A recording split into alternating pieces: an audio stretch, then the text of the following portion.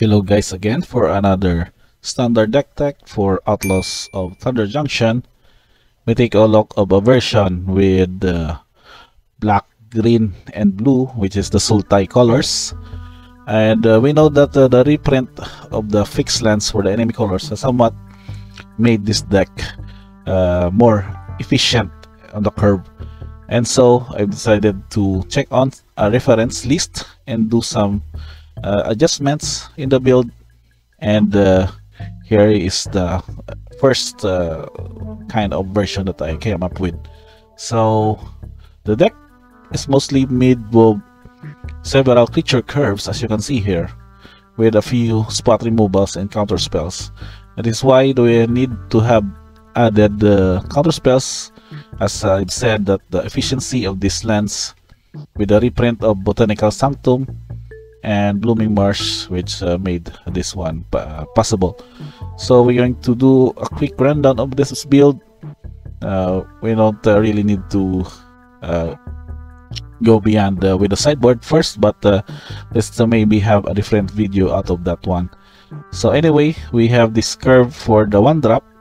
So you can see here three copies of Spyglass Siren this is just a way to get you some map tokens for you to utilize, which later on can lead you to card draw your extra lands or filter out the top card of your library for uh, digging out the needed creature or spell, for example. So with this, we need to go now for the two drops, which again composed of the efficient uh, Deep Cavern Bat. Can disrupt your opponent's hand and uh, make a strategy out of his or her succeeding turns. Then we have also Mosswood Dreadknight, which is another card draw effect that can also be casted for a 2-2 uh, 2 mana 3-2 which uh, can also become a good threat early on as you would need only to have this one traded or not exile effect. Uh, because of when it dies you can cast it from your graveyard as an adventure until the end of your next turn so that we also added a copy of uh, Fairy Mastermind because again we have access to blue. This is also would be an efficient uh, attacker with evasion and can also have this effect that uh, opponents uh, drawing off your second card each turn you can draw a card also. And that uh, we have the new card, the legendary plant druid, the Bristly Bill Spine Sower. This is uh, more of now a way to pump up your dudes because of this landfall effect that uh, you can put up summon counter on target creature and later on this can also double the number of summon counters by having this uh, 5 mana activated ability. So this would also mean that Curving out with a turn 2 bat for example and turn 3 Bristly Bear in the playland would mean that you can add a summon counter on your bat, therefore making it more efficient as a 2-2 flying lifelink in the damage race for example, will also get you to have a good threat of an attack. And also, which uh, mean that we have several map tokens here that is created, so those map tokens can also put some counters on your creature, so not uh, does not that does not mean necessarily that you need to landfall to put those counters. And anyway you can still have this uh, card as a good way to double those number of counters in the late game for this 5 man activation. On that we have uh, now this variants of 3 drops in the deck. Uh, first off I've uh, considered uh, 3 copies of uh, of the Schism. Again because this is probably the most efficient way to curve out in the deck at the same time gets you card advantage and board advantage with these uh, vampire tokens. I've also added uh, a Sentinel of the City because again map tokens are also important here in this kind of deck and also gets you a 3-4 body with vigilance which is also good blocker on its own. And then we have a copy of Lord Skitter Sewer King. I am uh, presumption that uh, the uh, Temur control decks or the lands decks would still be a popular archetype in the standard format. Hence, you would need to have a way a main deck to somewhat uh, disrupt their card advantage. And having Lord Skitter would also get you to exile cards from your opponent's graveyard at the same time creating this 1-1 uh, black rat creature token as another creature to your board. And that, of course, Gix is also a good curve in this deck because of the Cardo effects also and works well with the bat uh, Deep Cavern Bat uh, setup. And the curving out example you can turn 1 Siren, turn 2 Cavern Bat into Gix would garner you two additional card draws or by earliest turn 3 so that um, may seem that you have already refilled your hand at the same time establish a good threat on the board with this kind of uh, build for example. For that is for your three drops. Now for your four drops we have two copies of uh, Ertai Resurrected and of course Sheoldred Apocalypse. As a best for drop for any black based decks. Air Ertai would again act here as a counter in spot removal because of its ability that uh, it is basically a hard counter and uh, it would only have your opponent uh, draws a card. But with Sheoldred in play it would definitely punish them for drawing a card and therefore losing 2 life in the process. And now for the only 5 drop in the deck is a copy of Aclazotz Deepest Betrayal that can also be very, very resilient to any destroy effects. As it when it dies it will become just a Temple of the Dead. At the same time it would also have your opponent discard a card whenever it attacks so also a flyer lifelink would also mean that uh, damage uh, raise potential is also do done on this deck in the mid game. And for your instance, again, I mentioned earlier, spot removals are also important as well as counter spells because we now have blue. We have two copies of Bitter Triumph that can also deal with Planeswalkers. Uh, cut down would also go with the uh, my, uh, sideboard or main deck uh, creature kill for uh, aggro matchups, especially Boros and Mono Red. And then two copies of Go for the Throat for any uh, defeated target especially for against Rakdos or other Sultai mirror for example and then counter spells. We have two copies to make disappear. And of course Casualty 1 would be easily played by several token producers here in the deck.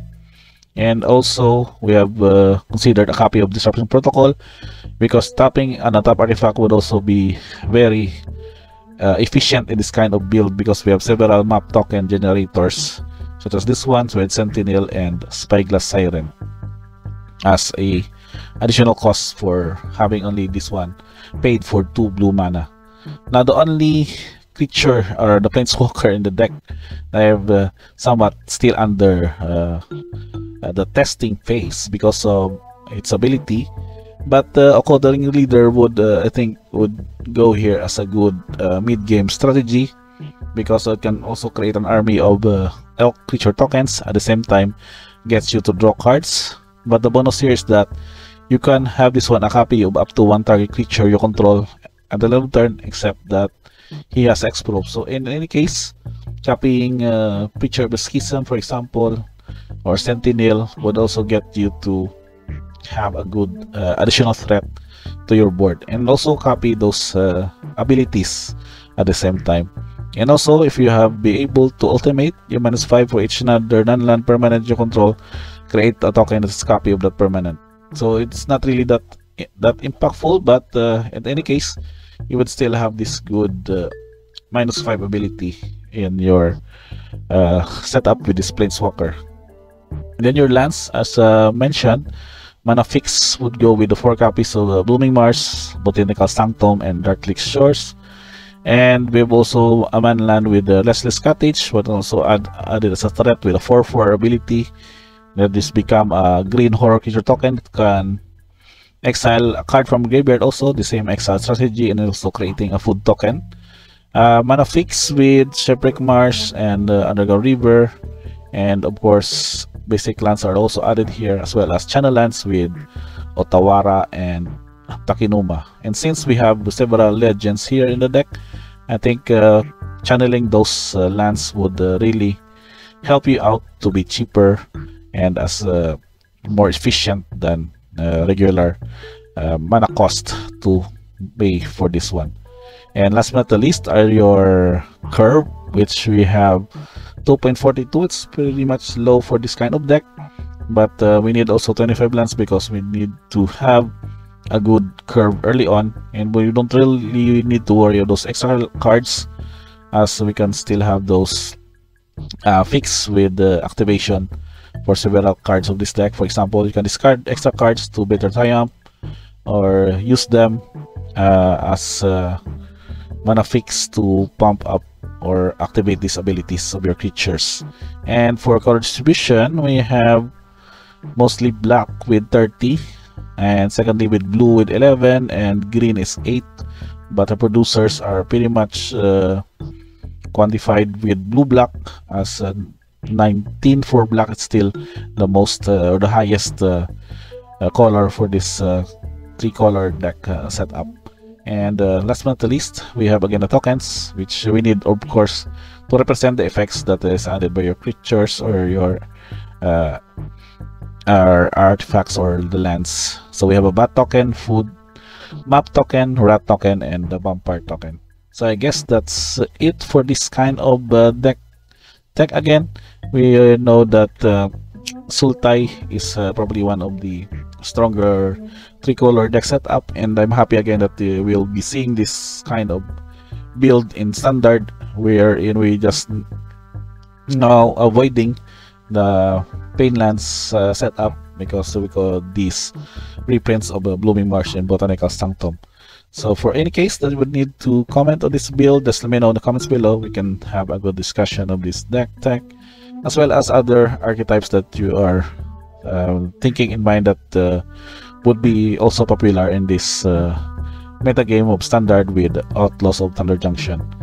Again guys, thank you for watching. Don't forget to like, subscribe, notifications on, and see you on the next video.